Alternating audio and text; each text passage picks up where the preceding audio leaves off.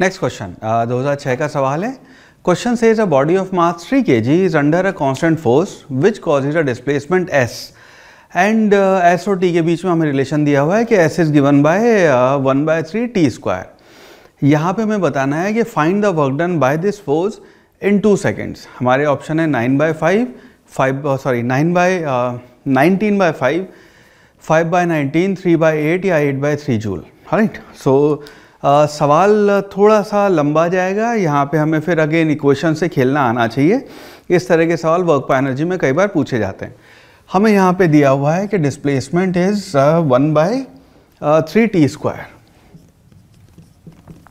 ये आपका डिस्प्लेसमेंट है। हमें बताना है वर्क डन जो ये फोर्स की वजह से डिस्प्लेसमेंट हो रहा है, वो बताना है work done in T is equal to zero to two seconds ये आपको वर्क डन बताना है यहाँ पे कितना होएगा। राइट सवाल कुछ इस प्रकार है कि हमें ये पता है वर्क डन जो होता है वो एफ़ डॉट डी एस लिखते हैं हम यहाँ पे।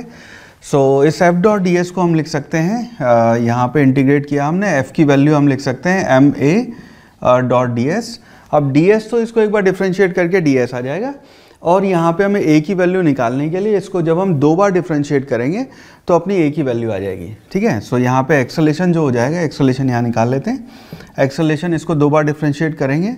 So one by three multiplied by two पहली बार डिफ्रेंशिएट होके ये टू टी बनेगा, दूसरी बार डिफ्रेंशिएट होके टू टू बन जाए टू बाय थ्री रह जाएगा। तो एक्सलेशन आपका हो गया टू बाय थ्री तो यहाँ पे हम लिख सकते हैं work done will be equal to mass mass कितना दिया हुआ है? मास और थ्री के जी यहाँ पर अपने को एम दिया हुआ है three K G right so it will be integration of three multiplied by two by three multiplied by D S तो इसकी वैल्यू हो गई टू डी एस और यहाँ पे हम इसको अब इंटीग्रेट कर सकते हैं. नाउ यहाँ पे कुछ लोग गलती ये करते हैं कि यहाँ पे फटाफट टू बाय थ्री में थ्री बाय थ्री कट गया two by two D S आ गया।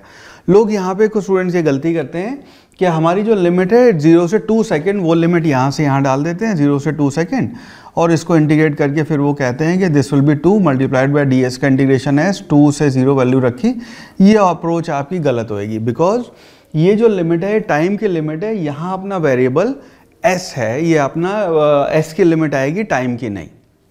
अगर इसको इंटीग्रेट करेंगे सो इंटीग्रेशन गलत है। यहाँ पे अब लिमिट जो आएगी, वो एस की लिमिट आएगी।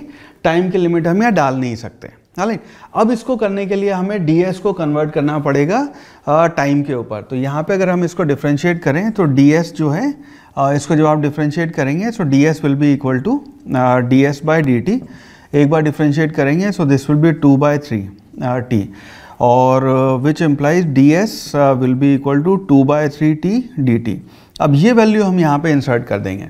तो विच मीन्स हमारा जो वर्क डन है अब सिंपल सवाल हो गया ये।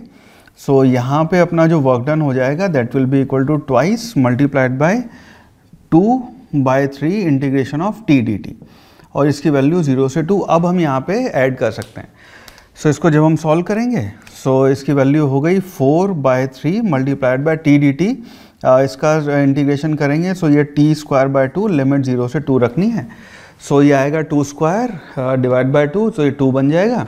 सो फाइनल वर्क डन जो हो गया अपना that is eight by three joule so based on this हम कह सकते हैं कि option number D eight by three joule will be the right answer for this particular problem